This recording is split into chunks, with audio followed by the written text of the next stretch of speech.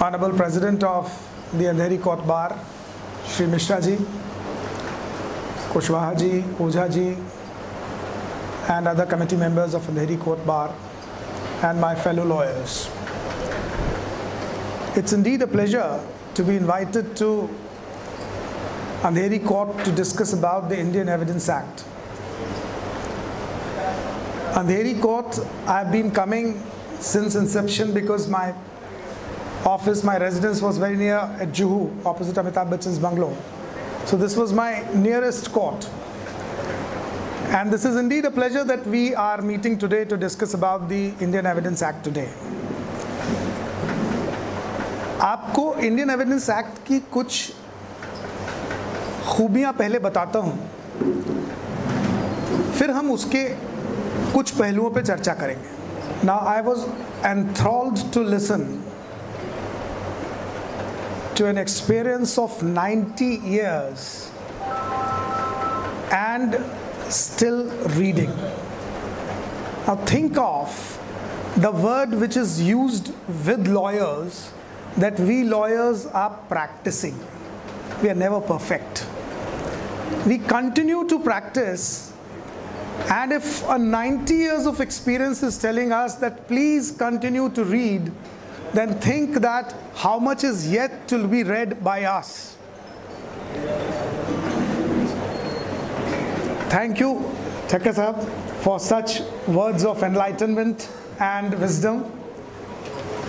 I once again wish you a very, very happy birthday. And on behalf of Andheri Bar, I wish you to make a century very soon.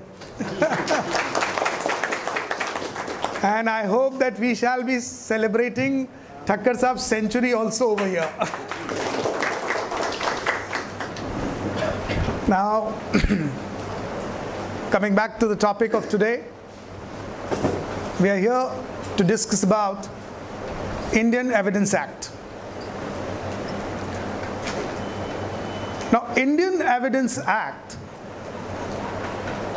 is a very peculiar act. This is the only statute which applies both on civil law as well as on criminal. 1st September 1872, this law was promulgated. Now, Section 1, if you see, of the Indian Evidence Act. It says that it applies on all the judicial proceedings except affidavits and except on arbitration. Now, this is surprising because most of the lawyers have this misconception that if they have notarized the document on affidavit, that becomes an evidence. Please be careful. Because the Indian Evidence Act in section 1 itself declares that this act applies on all the judicial proceedings making exceptions of affidavit and arbitration. Though there is a judgment of Allahabad High Court where it has been held that as far as the affidavit is concerned, it is a discretion of the court to admit the affidavit as an evidence or not. Secondly, with the lapse of time and the practice, it has also come to the notice that as far as the arbitration proceedings are concerned, it is again the choice of the parties to arbitration as well as the arbitrator whether to use the provisions of Indian Evidence Act or not. And if all of them agree, then the Indian Arbitration Act can also use the provisions of Indian Evidence Act. Now, why I'm telling you is this because these provisions, which are applicable since 1872, are still continuing. Although just last week I had an opportunity to meet the Law Minister of India who was visiting Bombay. Ravi Shankar Prasad was here. And I had an opportunity to inform him that Indian Evidence Act needs a lot of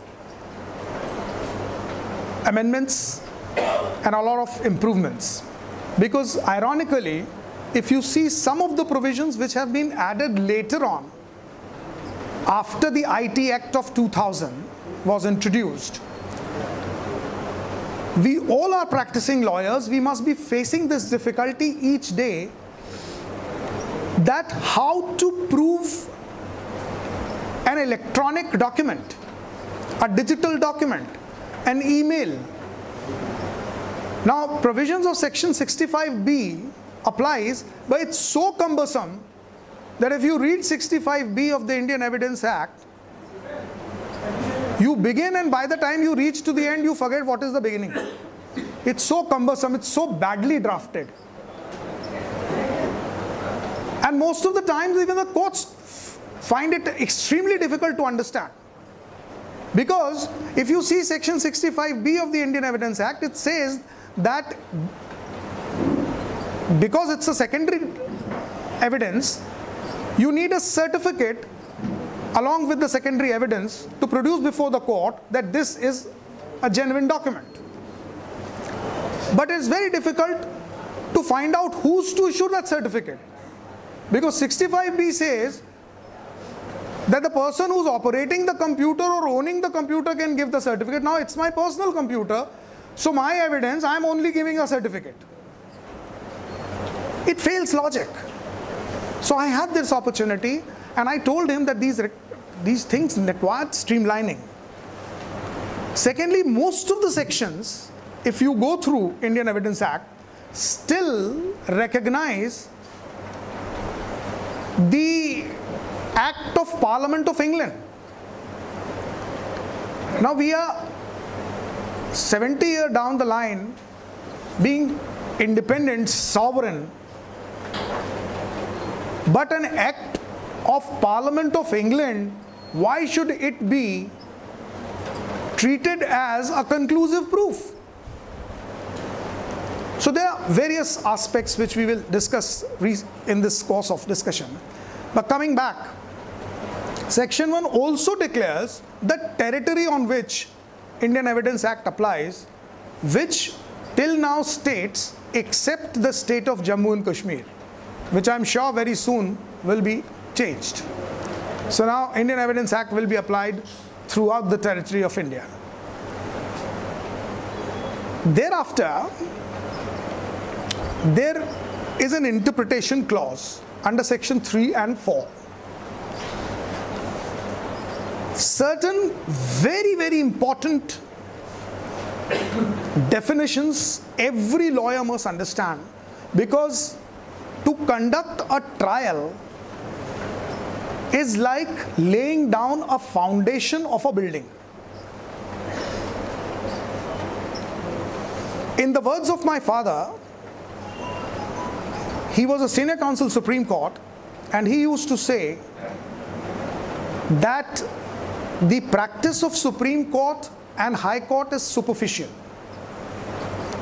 The actual work is done in the trial court. So he used to say that son, whenever you get an opportunity to attend a trial court, never leave it. Because in the trial court, the foundation of a case is built. And if the foundation is strong, the building remains strong.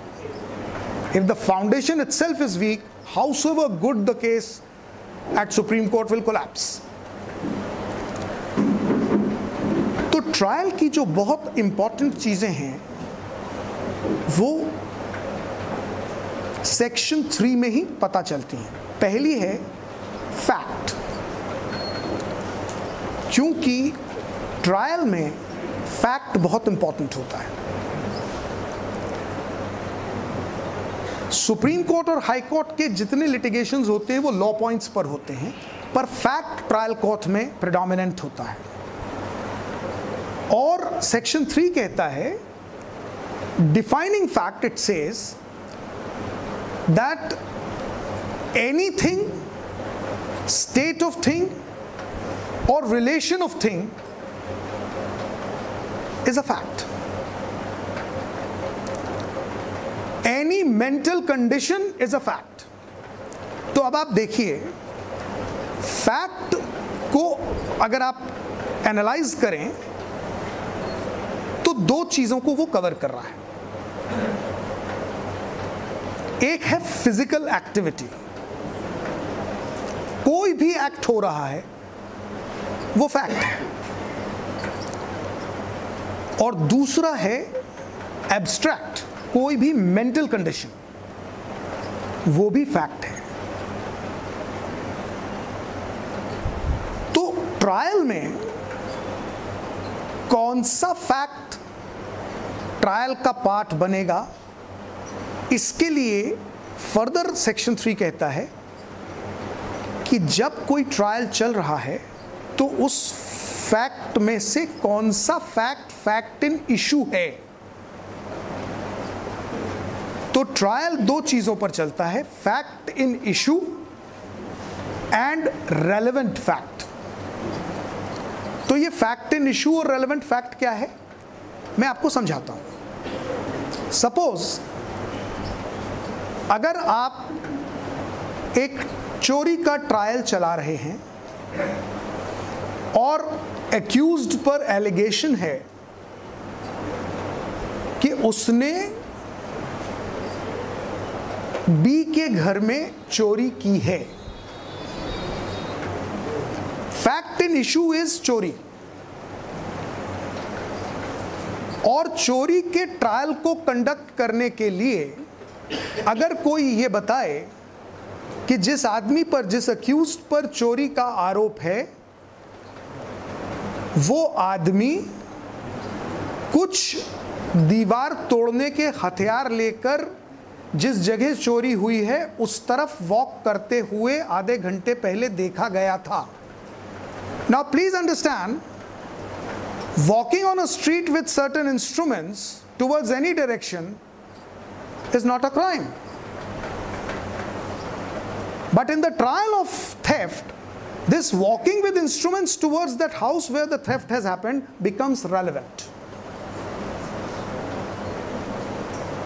तो fact in issue है चोरी लेकिन उस fact in issue से पहले के घटनाक्रम और बाद के घटनाक्रम। चोरी के बाद